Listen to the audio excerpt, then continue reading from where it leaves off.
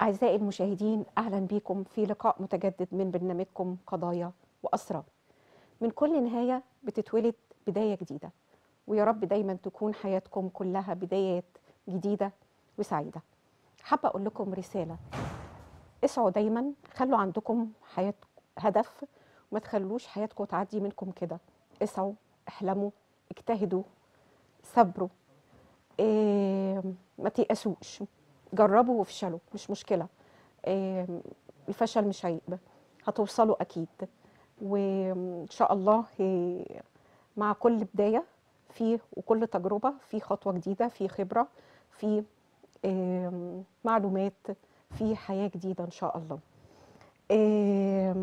أنا حابة أقول لكم إن دايما تكونوا واثقين بنفسكم. ما تقبلوش بالقليل بل بالعكس. أنا عايزاكم تكونوا واثقين في نفسكم لحد الغرور. الغرور مش عيب بس بشرط إن هو يكون غرور بناء هادف. تكون واثق بنفسك إنك تستحق دايما الأفضل. وحابة إن أنا في بداية حلقتي أوجه كلمة شكر لمؤسسة قلب كبير تحت رئاسة الدكتور مجدي حنا مؤسسة قلب كبير بتقوم على بتقوم بجولات ميدانية للمستشفيات والملاجئ ودار المسنين. هم عندهم رسالة. الرسالة دي بتسعى إن هم بيتعاملوا مع الإنسانية عامة. ليس بينظروا للإنسان حسب لونه أو جنسه أو ديانته بل مجرد الإنسان فقط بغض النظر عن أي شيء. بنتمنى لمؤسسة قلب كبير مزيد من التفوق والنجاح. ونبدأ فقرات برنامجنا ونرحب بضيفتنا الجميلة الأستاذة مشيرة مصطفى أخصائي تربية خاصة وتعديل سلوك. نورتينا في برنامجنا قضايا وأسرار دكتور النهاردة موضوع حلقتنا كيفية تعامل الأسرة مع سلوكيات الأطفال. تمام؟ في البداية إحنا عارفين إن الإيجابية هي أكسير الحياة. هي مهارة بنكتسبها عن طريق التعلم. الموضوع كله بيندرج تحت طريقة التفكير وطريقة التصرف. إزاي أقدر أوصل الطفل لأن هو يكون شخص إيجابي متفاعل مع البيئة المحيطة بيه؟ هو في البداية طبعا إن أي يعني أي طفل موجود في أي أسرة أنا بعتبر إن دون مسؤولية كبيرة جدا جدا على الام والاب تمام. فبالتالي علشان يقدروا يوجهوا الطفل لأي حاجة إيجابية لازم هم يبتدوا بنفسهم الأول. يعني لازم صح. الأب والأم يبتدوا بنفسهم الأول في إن هم يكونوا إيجابيين في الحياة. صح. الطفل بيتعلم وبيقلد. أول ناس هيقلدهم الطفل الأب والأم. هي النواة الأولى آه طبعا. للتعلم. طبعا. طبعا.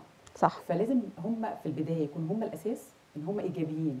تخيلي مثلا طفل شايف باباه ومامته على طول سلبيين ما بياخدوش قرارات إيجابية في حياتهم بالتالي هيتعلم منهم يبقى زيهم بالظبط. لكن لو هم عندهم الناحية الإيجابية عالية قوي فالطفل من هنا هيبتدي يتعلم إزاي يبقى هو كمان إيجابي.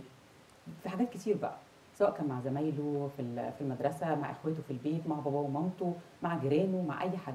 هيبتدي بالإيجابية بس بشرط إن هو يكون رب الأسرة إيجابي. لازم فعلا. يكون الأساس بالظبط كده. لازم يكون الأساس إيجابي عشان هو يبتدي يتعلم منه لكن هيكون في سلبية في البيت هيطلع نشء سلبي. يعني هيطلع النشء نفسه سلبي مش قادر يبقى إيجابي أو يعمل أي حاجة إيجابية في حياته. هل يا دكتور طبعا كل طفل له آه، مدخل خاص للدخول لشخصيته؟ آه طبعا. بتختلف من آه طفل لأن يعني ما بن مش بنعمم آه، طرق وأساليب التعامل مع الأطفال على حدة. لا كل طفل ليه طريقة طريقة معاملة معينة. حسب إيه بقى؟ حسب الطفل ده إيه؟ حسب الطفل ده هو اللي بيديني أنا أتعامل معاه إزاي. تمام. يعني أنا لو لقيت طفل مثلا آه عنيد طفل آه، عدواني شوية طفل سريع الغضب كل واحد من دول ليه طريقة أدخل له بيها. ما أقدرش أعمم كل الأولاد أو كل تعاملي مع الأولاد بشكل واحد. فالمفروض الأب والأم يعرفوا ده. لأن للأسف دي من ضمن المشاكل الكتيرة اللي بيقع فيها الأب والأم. إن هم كلهم ولادنا واحد كل المعاملة آه. واحدة. وفي بقى كمان وهنا الخطأ الدارج إن آه، ممكن الأب أو الأم بيقارنوا الطفل ق- أمامه كده يعني مثلا. يقارنوه بزاويه يقارنوه بأقاربه يقارنوه بأصدقائه صح. وده بيأثر بالسلب على شخصية الطفل نفسه. طبعا طبعا من الناحية النفسية بيأثر جامد جدا من الناحية النفسية عليه. لازم يعرفوا قدرات كل طفل. أنا عندي ثلاث أطفال مثلا أو طفلين. في فروق فردية بين الطفل ده وبين هم كلهم آه أخوات بس في فروق كل طفل من دول عنده موهبة معينة آه عنده ملكة معينة. في طفل ما عندوش خالص وأنا عايزة أطلع اللي عنده وأنميه. آه. فلازم أنا ألعب على الحتة دي. ما فيش بقى إن أنا أسيب أو أعامل كله مرة واحدة هو كلهم بقى أولاد وكلهم يتعلموا من بعض ولما يكبروا يعني الكلمة اللي بنسمعها دايما لما يكبروا هيتعلم هيتعلم آه، الزمن هيعلمهم. طب وأنت أيوة. دورك إيه؟ أيوه. أنا الأب أو الأم. هو كده بيبين إن هو آه، من البداية هو. سلبي. آه طبعا. ما دي قمة السلبية. فإن أنا ما قدرتش أدي لابني ال- الخطوة الأولى وأقول له امشي عليها. يعني آه، يعني آه، أول خطوة في حياة الطفل إيه هي؟ أنا أتعلم من بابا وماما حاجات معينة هم بيدوها لي فابتدي أنا أمشي عليها. لكن إن أنا أسيبه للدنيا تعلمه و- والمدرسة بس اللي هتعلمه لا لازم يبقى فيه آه، خطوات أنا أبدأ بيها كأب وكأم. طيب أستاذة مشيرة اتفضل تعديل السلوك هو تغيير السلوك الغير مرغوب فيه تمام؟ بطريقة منهجية لسلوك أفضل. مم. تمام؟ آه إزاي أقدر أوصل أو أحصل على نتيجة مرغوبة من التعديل؟ هو في البداية ال- السلوك هو عبارة عن تصرف. بيتصرفوا الطفل سواء كان التصرف دون ممكن يكون تصرف لفظي يعني سلوك لفظي وسلوك غير لفظي.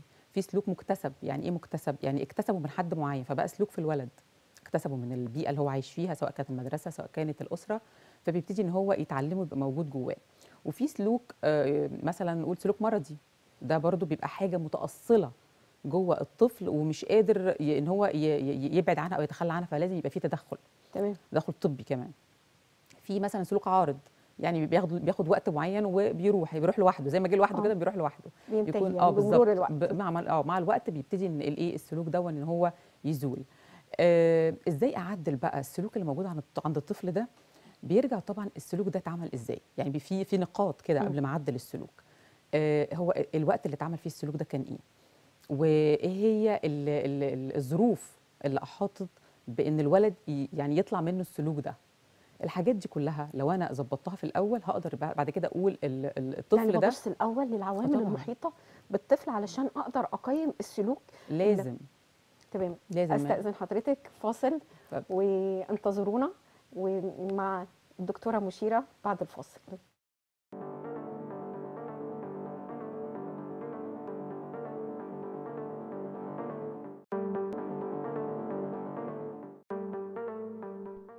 ورجعنا لكم بعد الفاصل مع برنامجكم قضايا وأسرار والأستاذة مشيرة مصطفى أخصائي تربية خاصة وتعديل سلوك. أهلا بحضرتك أهلاً مرة. ثانية آه هنكمل سؤالنا إزاي نقدر نحصل على نتائج إيجابية للتعديل؟ زي ما قلت هو المفروض إن آه الأب والأم هنا بي بي بيتعاملوا مع ال- الأطفال أو أولادهم آه كل واحد على حدة تمام؟ آه كل واحد بيبقى ليه سلوك سلوك معين. يعني مثلا لو قلنا إن كل واحد آه ظهر عليه من الأطفال سلوك ما. تمام. فهنا الأب والأم عارفة بتقابلهم آه مشكلة يعني يقفوا كده زي ما يكون في حجره متعثرة قدامهم مش عارفين يتصرفوا فيها إزاي. يا إما يتعاملوا بتلقائية وممكن قوي التلقائية دي ما تأديش للنتيجة اللي إحنا عاوزينها. فبيحصل صدام. لكن أنا لو عرفت كويس قوي السلوك ده زي ما قلت قبل كده اتعمل آه ليه ليه ليه ظهر السلوك ده؟ إيه سببه. والعوامل اللي كانت محيطة بيه. إيه اللي خلاها تظهر؟ قدرت أشوف النقاط دي وأتعامل معاها كويس هبتدي هنا أشوف إيه هي الطريقة المثلى بإن أنا أبتدي أعدل السلوك ده. طيب آه، أستاذة مشيره هو دلوقتي لو أنا مثلا الطفل من عنده فرط حركة مم. تمام؟ وكثير الكلام okay؟ آه، هل إن أنا لو تجاهلته هل ممكن إن أنا في آه، التجاهل يؤدي النتيجة المرغوبة؟ يعني مثلا هو بيتكلم كتير okay أنا هتجاهل وطبعا ملاحظة إن موضوع الكلام الكتير مش وفرط الحركة مش مش بتحصل مش مش عرض يعني مش عارض لكن عارض آه يعني. لا لكن هو باستمرار. هل لو أنا تجاهلت التركيز عليه وإن أنا أنبهه كل شوية اسكت اسكت اسكت مم. لا أسيبه مثلا خلاص اتكلم زي ما أنت عايز أنا مش ههتم بكلامك أنا مش ههتم آه، بالحوار بتاعك هل ده ممكن يؤدي لنتيجة إيجابية أم سلبية ولا أنا أتناقش معاه وآخد وأدي معاه في الحوار. لا هو مش مش هيبقى فيها تناقش. هي كل الحكاية إن إحنا هنعمل حاجتين هيبقى في تجاهل ولكن مع حاجة. التجاهل ده مع إيه؟ التجاهل ده هيبقى مع آه، إشغال الطفل. أنا عايزاه يسكت. آه عايزاه يبطل. حركة. طب ما أنا هشوف له بديل. ما ينفعش أقول له كده ده طفل مهما كان طفل. فانا أقول له اسكت اسكت وأقعد أقعد طب وبعد ما قعدت وسكت إيه اللي آه. هيحصل؟ لا أشوف له بديل. ما أقولوش بقى أقعد وبطل حركة وما تتكلمش. لا خالص. أنا ببتدي إيه؟ أشوفه آه ده بيتحرك كتير ده بيتكلم كتير. وفي حتة أتكلم كتير دي برضه أنا عايزة أقول لكل أم يعني اسمعي ابنك. برضه مم. بلاش حتة إن أنا إيه م- مش فاضية ما, ما لأ يعني حاولي برضه تسمعيه شوية اديله وقت شوية. ولو زادت الموضوع قوي بقى وزاد عن حد وهو بقى مصمم يتكلم طول النهار لأ ابتدي أشغله بقى. أي حاجة مم. مفيدة. يعني أنا مثلا لو قلت له آه، في شغل البيت مثلا لو قلت له أنت عليك المهمة دي اعملها لي من أولها لآخرها. آه. ويبقى في بعد كده مدعم. آه انت لو عملت كذا كذا يبقى أنا إيه مليت آه، شغلت الطاقة الجامدة بتاعته دي كلها في حاجة مفيدة وكمان الولد هيستفيد بإن في مدعم. عايزة أحط plus بقى كمان الرياضة. أنا بقول لكل أم وكل اب بص الرياضة دي مهمة جدا. الطفل هيفرغ طاقة جواها في حاجة إيجابية جدا اللي هي الرياضة. نشوف الرياضة المناسبة لكل طفل تمام. وببتدي إن هو هو أستأذن حضرتك معانا اتصال تليفوني. أهلا بيكي. مين معانا؟ ألو؟ أيوه. تغريد. أهلا بيكي. أستاذة تغريد اتفضلي. آه لو سمحتي يا دكتورة. آه أنا دلوقتي عندي ابني عنده ثلاث سنين. تمام. وعنده آه مشكلة إن هو أصلا كل حاجة بيعيط عليها وإن هو عايز كل حاجة في وقت واحد. وهو عشان هو أصلا تعبان. تمام. يعني هو عنده مشكلة أصلا في الأمعاء وكده. فكل عمل عمل ثلاث عمليات. فكل ده ممكن يكون إن هو تأثير مثلا بنج أو تأثير يعني كتير بيقولوا لي كده. إن هو آه. عصبي جدا. بقاله إن هو إيه كل؟ حاجة عايزها بقاله يكون قد إيه. بقاله قد إيه عنده المشكلة دي بيعاني منها؟ لا هو تقريبا من يوم ما اتولد. من يوم الولادة. هو عمل عملية آه. من الولادة؟ آه إيه الأمعاء عمل؟ عملية؟ لا أثناء هو عمل بعد عملية الولادة على طول؟ 8 شهور و... لا 8 شهور ومرة سنة وشهرين. آه. وآخر مرة الشتاء اللي فات يعني السنة اللي فاتت. تمام. طيب. على سنتين. كان عامل ثلاث عمليات. طيب الأستاذة مشيرة هترد على حضرتك وتابعينا. اتفضلي. شكرا. بصي حضرتك هو البكاء بدون داعي هي بتقول من غير من غير لازمة وهي مش عارفة ده ليه. بتقول احتمال هي اللي بتقول إنه احتمال يكون آه، من العملية اللي عملها للأمعاء. يعني آه. يكون تأثير بنج على ما سمعت إن تأثير بنج يكون أثر عليه. يعني البنج بيأثر على إن هو يخليه عصبي أو بيبكي؟ آه، لا يعني هو البنج وخصوصا إن هو في السن أصل هو الصغير بقى لها دي بقت بتقول بقى له فترة. آه. يعني بقى له فترة طويلة قوي بيعيط من الموضوع ده. المسألة إيه؟ لو في عياط بدون داعي خالص آه. أول حاجة قبل ما ألجأ لأي أخصائي بروح الأول للناحية الطبية عشان مم. لو في حاجة عضوية يبقى ده تبع إن الناحية آه بالظبط كده. لازم الناحية العضوية الأول نطمن عليها. خلاص الناحية العضوية سليمة ما فيهاش أي حاجة اذا أشوف البكاء بقى إيه يجي لي بقى أخصائي تعديل السلوك. آه. هل هو سلوك؟ يبقى هنبتدي نتعامل معاه. والطفل اللي بيزن علشان عاوز حاجة أو بيعيط علشان عاوز حاجة الزن آه ما هو في لمجرد الزن وفي لو هو عايز طلب ماما مش عايزة آه. تنفذ الطلب ده دلوقتي مم. فببتدي أعيط كنوع من أنواع إجبارها على إنها أيوة. تنفذ لي طلبي عن طريق الإيه العياط بقى عشان كتير والزن كتير أو هتس... وتلبي له طلبه. ممكن تلبي له طلب طبعا الأم لو لبت طلبها خلاص هي وقعت خلاص. هو خلاص خلصت. عارف عارف نقطة أنا عارف. النقطة أول ما ماما تقول لأ آه، آه، على طول أيوة. العياط والزن يشتغل فطبعا لو الناحية مش عضوية والناحية سلوكية ببتدي إن هو الولد بتفق معاه لو بطلت عياط هجيب لك كذا كذا. وفعلا أجيب له حاجات يعني بسيطة. إحنا هنا هنتبع سلوك الاتفاق. آه آه، اللي آه زي مثلا. نقدر نقول آه، عقد اتفاق. آه بين الطرفين. آه، ولازم طبعا الطرف الأقوى اللي هو الأم مم. إنها تكون صادقة في تنفيذ لازم. تنفذ الوعد. ولازم تنفذ عشان ايا يثق كانت فيها. علشان يثق فيها. بالظبط كده. عشان يثق فيها. فلازم لو هو بيزن أو بيعيط قوي علشان حاجة معينة خلاص. آه، يعني أول حاجة طبعا ما لبلوش إلا ما يسكت خالص تتفق معاه لو سكت هلبي لك الطلب بتاعك. طب ما سكتش وفضل يزن هنا بقى يبقى في تجاهل. مم. وممكن في حاجة حلوة برضو لو تجاهلته هو طب ممكن لو هو عنده إخوات ولا حاجة ساكتين ما بيعيطوش يبص عليهم. آه. يعني أبتدي ألبي بقى الاخوات اللي ما بيعيطوش وبيطلبوا الحاجة من غير آه عياط يعني هنا ممكن نتبع أسلوب النمذجة يعني إن هو بالظبط كده نموذج معين ونموذج حي آه القد- وأقرب نموذج آه إخواته, إخواته لو هم إلا بقى لو هم قلدوه وعيطوا كمان دي حاجة بس تانية. هنا نفرق بين المقارنة مم. المقارنة بالسلبية إن أنا مثلا أقارنه وأقول له إيه مثلا إخواتك أفضل منك هنا لا ما هي مش هتقارن آه ما قارنش لا لا خالص. لكن انمذج يعني المقارنة دي مرفوضة لأن تمام. زي ما اتفقنا برضو قلنا في الأول إن في فروق فردية كل أيوة. طفل حتى لو إخوات توائم لو توائم أيوة. في فروق فردية بتحصل بينهم فتلاقي الطفل ده غير الطفل ده يقول لك ده التوأم لا بس في فروق أيوة. مش مش كل حد زي بعضه نهائي في أي حاجة خالص فهي بتبتدي هنا آه، أتفق بطلت زن أديك كذا وتكون صادقة في, في إن هي هتنفذ الوعد ده بس طبعا لما يبطل العياط والبكاء. فعلا.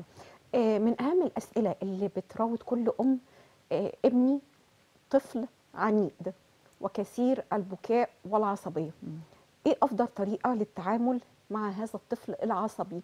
اللي هو كثير البكاء اللي هو يعني كل طلباته ممكن عصبية ممكن اللي هم أحيانا بيوصل بيهم الأمر إن هم الإغماء. آه آه، يعني في أطفال يعني بيوصلوا للإغماء على الأرض. فعلا. من كثرة البكاء. وممكن يخبط راسه في أي حاجة يأذي ويأذي نفسه نفسه. ويأذي غيره.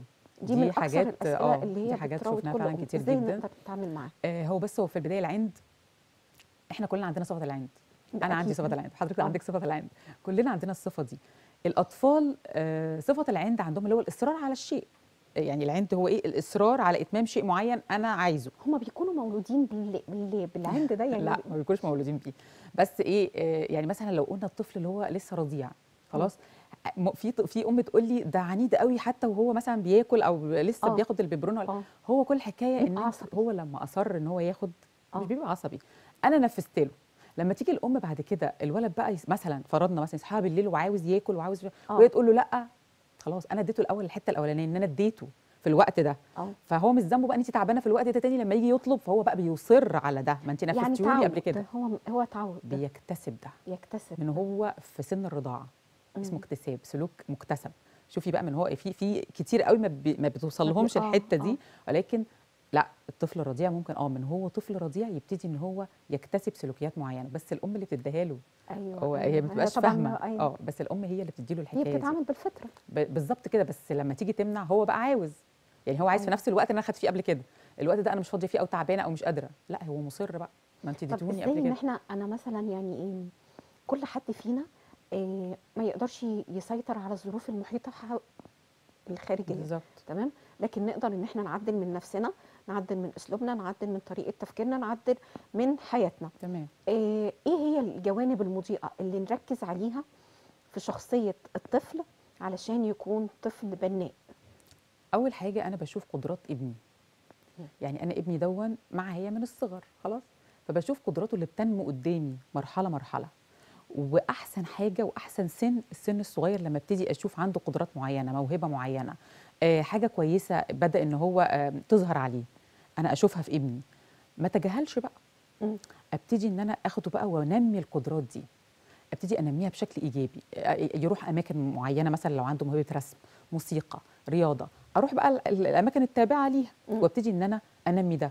أجيب في البيت لو أنا مش قادرة مثلا في الظروف اللي إحنا فيها نخرج بولادنا دلوقتي لو قدرنا إن إحنا نعمل ده في البيت. دول هم بالعكس هيفرحوا جدا دلوقتي ان هم محبوسين معظم الوقت. أيوه فعلا. فعايزين نطلعهم بقى من القصة دي. آه. بالظبط كده. أو بقى أنا كأم. أتعلم ده. أنا لو أيوة، اتعلمت إن رسم أنا أو موسيقى أو بنفسي أو رياضة وأنا أعلمه وأعلمه. ابقى أنا أحسن معلم لابني. أكيد طبعا. طبعاً. إن أنا إيه، أقدر واحدة على فهم شخصيته بالظبط. وهو عايز إيه أو حابب إيه أكتر. إيه أستاذة مشيرة إزاي اللي الطفل اللي عنده اضطراب في التوحد ده تمام؟ إزاي الأسرة تتعامل مع الطفل المتوحد ده؟ آه، أولادنا أولاد السبيشال أو الأولاد آه، ذوي الهمم أو الفئات الخاصة منهم آه، فئة التوحد أو الأوتيزم. الفئة دي فئة خاصة جدا وأنا بعتبرها في حد ذاتي يعني آه، آه، فئة كده ليها تعامل خاص. آه، غير حتى بقية الفئات يعني غير بقية فئات ال ال ال الاحتياجات الخاصة. التوحد ليه طريقة معينة في التعامل. آه، بتصدر منه سلوكيات كتير الأهل هنا ما بيعرفوش يتصرفوا معاها صح. خالص. يعني مثلا لو قلنا الطفل ده آه، بي- بيصرخ كتير جدا. آه. طيب. لو لو طفل طبيعي بيصرخ وطفل توحد بيصرخ ده غير ده خالص. ليه؟ لأن طفل التوحد هنا عنده مشاكل حسية خاصة بال... بال... بالناحية الحسية عنده. يعني مثلا هو ممكن يكون بيصرخ لأنه في أصوات تعباه. هو عنده آه. الناحية الحسية مثلا ال- السمعية مختلفة غ- خالص عن عننا خالص. يعني في أصوات معينة أو آم، ذبذبات أو ترددات أو طبقات معينة من ال... على البصر كمان بتبقى برضو ضعيفة. بصي الحسية ناحية بصرية ناحية سمعية ناحية لمسية آه. ناحية حركية والتذوق كمان. تمام. واللمس. أي ناحية حسية. مم. مختلفة عننا خالص. مم. يعني الدرجات بتقل يعني أو بتكثر أو بتقل حسب ال- ال- الحالة نفسها. فلو اتكلمنا بقى عن السلوك لازم بقى أعرف هنا عند التوحد طب آه هو عنده مشاكل حسية. يبقى سلوكه إن هو بيصرخ كتير ده ليه؟ آه. هل في حاجة سمعاه سمعها مضايقاه فبيبتدي يكش ويبتدي يتنرفز أو يصرخ؟ أو في حاجة مع... أو عاوز يعبر ما هو مش عارفين يعبروا.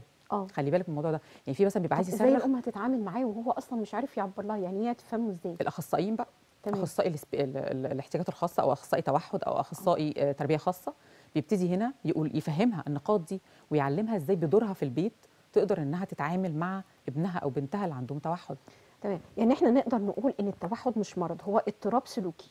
اضطراب نمائي بي- موجود آه، يعني اضطراب في نمو الخلايا العصبية بيؤدي إلى ضعف في إيه؟ في التفاعل الاجتماعي. ما يقدروش يتفاعلوا اجتماعيا زينا دايما تلاقيهم منطويين على نفسهم أيوة. شوية آه، بيؤدي إلى عدم التواصل أو ضعف في التواصل اللفظي وغير اللفظي. يعني مثلا تلاقيهم لأ في الكلام في تأخر في الكلام. في الحركة ساعات بيبقى في تأخر في الحركة. في النواحي الاجتماعية كلها تلاقيهم في تأخر. يعني دايما في بعد كده. ما بيبقوش مندمجين آه، يعني إحنا حتى كنا بننادي بموضوع الدمج في المدارس وفي النوادي لكن بيبقوا هم عندهم حتة البعد كده الطفل نفسه فاحنا كدورنا بقى نعمل إيه؟ طب لو إحنا عمل إيه قمنا بدور إن إحنا عملنا إيه، عملية الإدماج مع الأطفال الأسوياء. هل ده هيؤدي بنتيجه بأثر إيجابي على سلوك الطفل المتوحد؟ بصي رأيي الشخصي في موضوع الدمج إنه آه ولا هيحس بفروق فردية؟ لا هو القصة هنا إن في شخ يعني فئة تانية اللي هم الأسوياء. ما ممكن هم كمان الأسوياء دول منه يبقوا في مش ينفروا هم ين- ينضروا لأن هم بيقلدوا. فأنا آه. عندي المتو... يعني الطفل التوحدي آه، بيبقى ليه لازمات معينة ليه أيوة. حركات معينة أصوات معينة. طب هل الطفل العادي هي... هيتقبل ده؟ هيتقبل آه. هل أم الطفل العادي هتتقبل ده؟ طيب بس إحنا كده برضو هن هن هندخل في دايرة إن إحنا هنخليه لوحده أو لا هنعزله لوحده. مش لوحده في فئة معينة لو قلنا دمج لأن آه. هو درجات التوحد درجات. ففي درجة معينة للدرجة المتقدمة اللي تقدر إن هي آه، تتفاعل مع آه ويكون عندها قابلية. للتعلم. تبتدي موجود ما بتبقى موجودة في المدارس آه، يعني بيكون موضوع الصراخ بقى وال- والصوت العالي والحاجات اللي ممكن تأذي أطفال تانيين بتكون أقل بكتير جدا. ممكن دول نقول دمج لكن الأطفال التانية هندمجهم برضو بس بطريقة تانية وبطرق تانية آه. مختلفة. زي مثلا؟ يعني مثلا إحنا لو عملنا لهم آه، هو ليهم دور يعني ليهم أماكن أقصد يعني. لكن إحنا مثلا لو في آه، نقول إيه آم، آه، نوادي آه، مع كل مع كل حد أو مجموعة مثلا من من الحالات دي يبقى في مختص عشان يقدر يبقى موجود معاهم. إيه آه، يعني بنعتذر لضيق الوقت وهنضطر نختم الحلقة. وفي نهاية حلقتي إيه أنا حابة إن أنتوا تنتظروني في الحلقة القادمة. إيه هنناقش قضية مهمة جدا هتمس كل قلوبكم قضية الطفلة ملك الحسيني. الطفلة ملك الحسيني هي طفلة لا تتجاوز عمرها 8 سنوات تعرضت للأسف لفقد بصرها نتيجة خطأ وإهمال طبي جسيم. إن شاء الله في الحلقة القادمة هننتظر حضور ملك الحسيني معانا و... وكلنا بنتمنى لملك إن شاء الله حقها هيرجع لها وترجع لها ابتسامتها ويرجع لها إيه الأمل في الحياة. وكلنا بنتمنى لها الشفاء وإن شاء الله يا ملوكة كلنا بنتمنى لك الشفاء. وترجعي وان شاء الله تكوني معانا في الحلقة القادمة. و- وبوعدك إن حقك هيرجع لك إن شاء الله من خلال برنامج قضايا وأسرار انتظرونا في مزيد من القضايا. و- وبنتمنى ليكم إن أنتم تكونوا استمتعتوا بلقائنا. وإن شاء الله في لقاء متجدد وبنختم اللقاء بنرحب بالأستاذة مشيرة مصطفى. أخصائي تعدي أخصائي تربية خاصة وتعديل السلوك نورتينا في برنامج قضايا. وأسرار. شكرا.